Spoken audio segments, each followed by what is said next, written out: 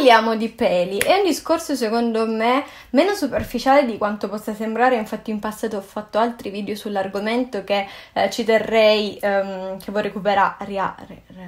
ci terrei che voi vediate prima di proseguire con questo video che sarà molto più pratico. Ehm, e in questo video vi racconterò quali sono i miei metodi preferiti per togliere i peli. Premetto che eh, io tolgo i miei peli in modo diverso in base alla zona del corpo e eh, anche al periodo direi ed è anche per questo che io non ho mai fatto né ad oggi vorrei fare metodi che tolgono i peli in modo definitivo perché cambio molto idea in base alle zone e in base al periodo, quindi preferisco eh, lasciarli crescere e decidere di, di volta in volta. L'altra premessa è che io preferisco fare tutto da me fatto in casa, il che eh, vuol dire che io sia costantemente alla ricerca di metodi eh, semplici ma efficaci che io posso fare DIY da, da sola. Quindi vi parlo dei metodi miei preferiti che tolgono i peli alla radice e che non tolgono i peli alla radice. Partiamo con i metodi che tolgono i peli alla radice perché è anche eh, il mio metodo preferito. Questo video è in collaborazione con Brown. Io utilizzo Silk Peel da quando sono molto molto piccola, quindi quando mi hanno chiesto di collaborare sono stata felicissima anche perché era da tempo che volevo acquistare un nuovo dispositivo visto che quello che avevo um, mi era durato davvero tantissimi anni e penso anche che sia un buon investimento sia dal punto di vista pratico sia dal punto di vista ecologico, nel senso che sono consapevole che questo metodo fa sì che tu ne compri un, fai, compri un dispositivo una volta eh, e poi ti dura praticamente per anni e anni e anni. Questo è il nuovo gioiellino e in questo periodo il mio metodo preferito, quindi parto da lui che è quello che sto utilizzando di più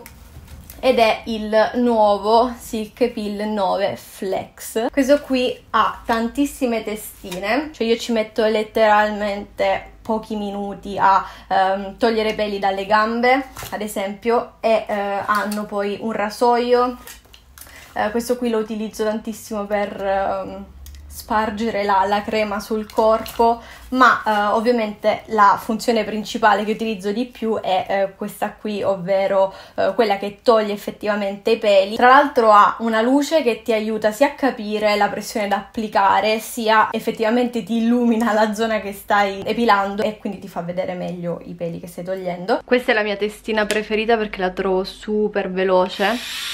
Davvero ci metto pochissimi minuti a togliere tutti i peli. Tra l'altro, oltre a essere velocissimo, non tornerei mai indietro rispetto a quello che ho utilizzato in passato perché questo è anche wet and dry, quindi si può utilizzare sotto la doccia. Ehm, con l'acqua è davvero velocissimo, ormai in doccia lo porto sempre con me e do una passata in pochi secondi. Ho tolto i peli e la cosa fondamentale per me è che togliendoli dalla radice ovviamente ehm, non mi ricrescono per settimane e settimane. Per quanto riguarda il dolore io mh, mm, non sono particolarmente sofferente, poi dipende dalla zona del corpo, però ad esempio io lo utilizzo tranquillamente alle, nella zona delle gambe, la mezza gamba, ascelle e eh, inguine. Queste sono le mie zone preferite per utilizzare il silk peel, l'ho sempre utilizzato e lo utilizzerò praticamente penso fino alla fine dei miei giorni perché lo adoro. Quindi sì, il mio metodo preferito in particolare è il silk peel in questo periodo perché lo trovo il più efficace, nel senso quello che mi toglie i peli in modo più veloce,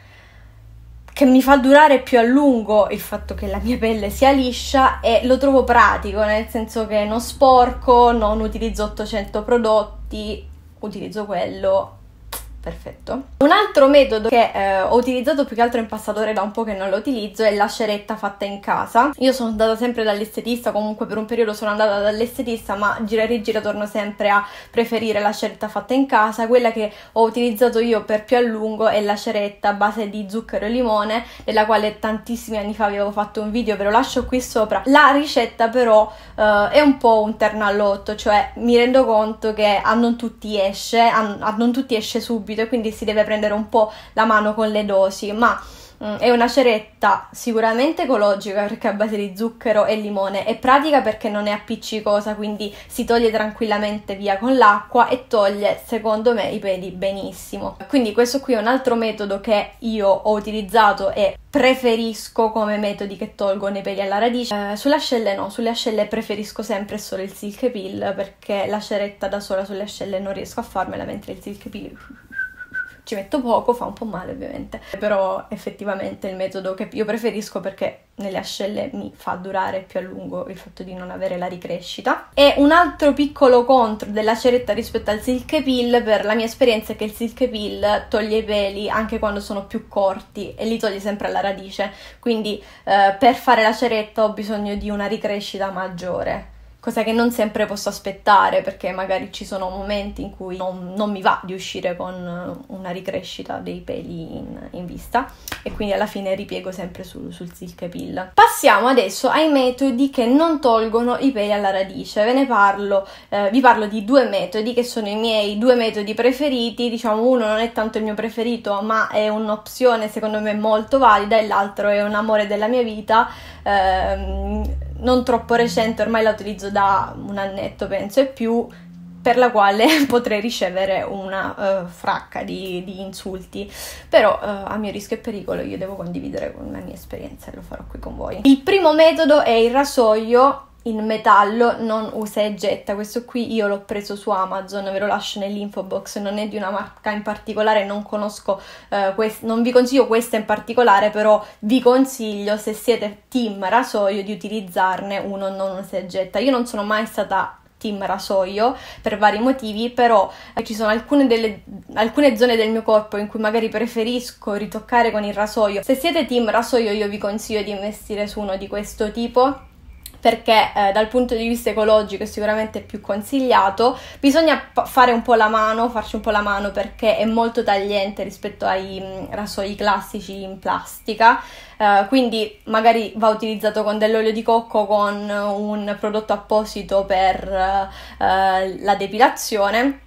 e insomma bisogna prenderci la mano io questo qui lo consiglio però se già uh, siete predisposti a utilizzare un rasoio di questo tipo, cioè un rasoio in genere, se siete team rasoio vi consiglio comunque di passare da quelli usa a uh, questi qui in metallo, ma fate attenzione. Il metodo che utilizzo invece per il baffetto petto, la zona del viso, è eh, una cosa che magari non tutti sapranno, non tutti conoscono, ma per me è stata la rivelazione. So che è un argomento molto discusso perché c'è la leggenda metropolitana secondo la quale se tu togli il pelo con un rasoio poi ti cresce più eh, duro. Per la mia esperienza e per le mie competenze questo non è mai successo, quindi eh, ci sono zone del mio viso che io continuo a togliere eh, non dalla radice, come la zona del baffetto, perché io ho dei peli peli non troppo duri, non troppo scuri, ma sono scuri in relazione alla, carna, alla mia carnagione, quindi si vedono particolarmente, mi mette un sacco a disagio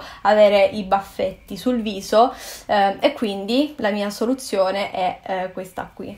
un rasoietto da viso in Italia non si trovano praticamente da nessuna parte, mentre quando sono andata ad esempio a Berlino li ho sempre visti class- nelle classiche catene ehm, in cui vendono prodotti per l'igiene personale, io li trovo su Amazon anche questi. Non è la soluzione più ecologica in assoluto perché questi li vendono sempre solo in plastica, non ho mai visto questi rasoietti eh, non usa e getta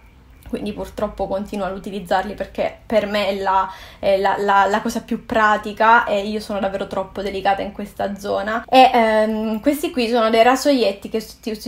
si, utilizzano in questo modo togliendo i peli. Se volete ve ne parlerò più nello specifico, vi faccio vedere come li utilizzo nel pratico, magari faccio un video su come io depilo il viso, quindi sopracciglia e, e baffetto fondamentalmente. Però io mi trovo bene perché uno appara la crescita, quindi anche soltanto se voi avete una crescita sfalsata potete utilizzare per un po' questo metodo e poi continuare il vostro metodo classico che può essere la ceretta o quello che sia, uh, ma io in realtà utilizzo sempre solo questo, tolgo i peli, mh, mm, ovviamente crescono più velocemente rispetto a un metodo come la ceretta perché eh, semplicemente non, perché non li toglie dalla radice però a me non crescono più duri e lo utilizzo davvero da un anno e forse anche più. Um, non mi fa male, non mi fa uscire irritazioni, questa è stata per me la salvezza.